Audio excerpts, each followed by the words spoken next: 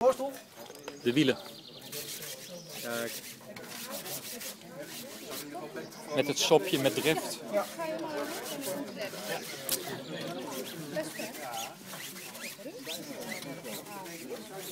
Het loopvlak.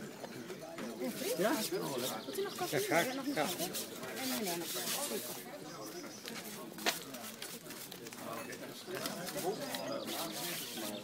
Het gaat allemaal vrij. Heb ik nog, heb nog nooit gedaan, wielen schoon, eh, banden schoongemaakt. Jij wel?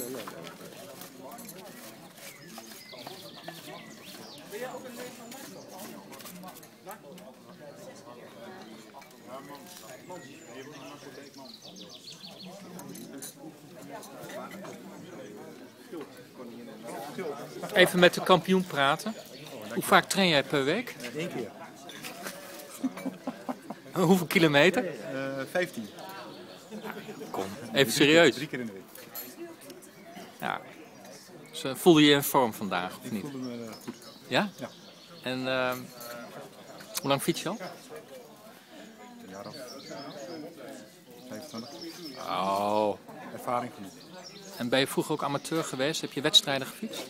Maar je bent wel een talent, hè? Dat moet wel. Dat weet ik niet. Nee? Dat is goede schaatsen. Ja. Oh ja, je bent wel... eh, Oké, nou straks eh, wordt de trui uitgereikt, hè?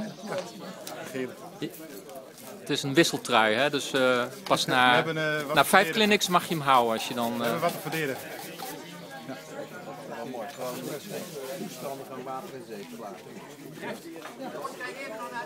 De wielen zijn belangrijk. En dan komt hij wel bij een belangrijk punt hier. Dit is de zijkant, er zit vaak dat remsel allemaal in de viezigheid. ja, En daar krijg je de hele fiets ook vuil van. En het volgende wat hij nou doet, dan is hij mooi schoon en controleert de banden. En de, of de steentjes zitten, want dat kan je heel veel ellende oh ja. besparen. En Ja. zoals vandaag met zo'n groep, als er een eentje slordig is en die heeft na 500 meter lekker band door zijn eigen schuld, dan heeft zijn banden niet gecontroleerd, dan is dat heel lastig. Dan hadden we reservebanden. Maar ook voor jezelf is dat een, een best een voordeel. Dat je dan, en we hebben nog geen water, maar dat is dan even afspuiten, dat is het handigste. Eh, dan kun je zo zien of daar eh, Even, eh, een, gewoon even, een, een scheurtje in zit. even het loopvlak controleren inderdaad. Ja. En dan uh, dan is het al schoon, dan kun je het ook goed zien. Maar ik denk wel dat je wel een heel leuk ziet. Ja, wel een mooi fietsje Je moet dat uh, moet goed Ik zal er even een water bij halen. Oh nee, en die gaat straks met de schone die gaat als enige met een schone fiets naar huis.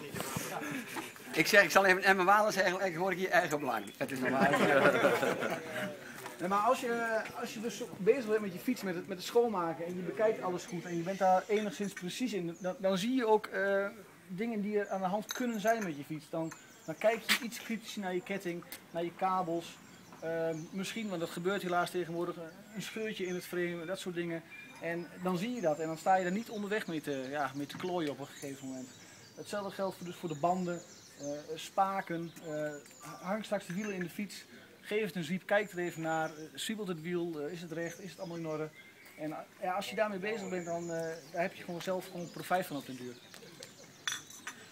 En eh, het is nu dus weer wachten op het water.